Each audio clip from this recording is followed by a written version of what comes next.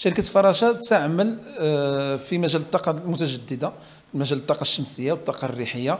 تعمل في مجمع نور ورزازات. عندنا مجموعة من من المشاريع التي أنجزت مع آه، نور ورزازات في إطار الصيانة الذكية باستعمال الدرونات والذكاء الاصطناعي وكذلك نعمل مع في المجال الصناعة وخصوصا مع المجمع الشريف للفوسفات لو سي بي من من منذ استخراج الفوسفات إلى مرحلة آه، التصنيع فنعمل دائما في مجال آه، الصيانة والتطبيقات الأخرى للدرونات في هذه المجالات. كذلك نعمل في المجال الفلاحي والآن بدينا بالعمل في المجال الفلاحي باقتراح درونات تقوم برش آه، المواد الصحية الفلاحية. وهذه الفكرة بدات مع الكوفيد 19 حيث اقترحنا درون تيقوم برش المعقمات. واثبت نجاعته وقمنا بالعمل به في مع مجموعة من من من البلديات المغربية.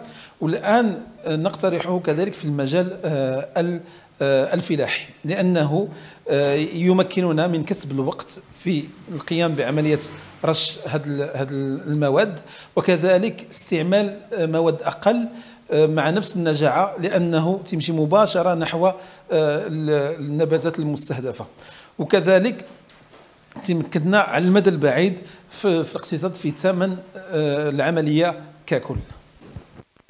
آه، شركة فراشة كانت في البداية تقوم باستيراد درونات وما زلنا نستورد درونات المعروفة على المجال العالمي تتصلح في التصوير آه والتصنيع التقني وكذلك في المجال التي تستعمل كاميرات حرارية. آه والآن مع هذا الدرون الخاص بالرش بدينا بعملية التصنيع. لأن عندنا خبرة منذ سنوات في المجال الصناعي كنا تنقوم ب آه، إضافة إضافات إلى الدرونات وصناعة الدرونات خاصة على حسب التطبيقات الخاصة اللي محتاجها الصناعة.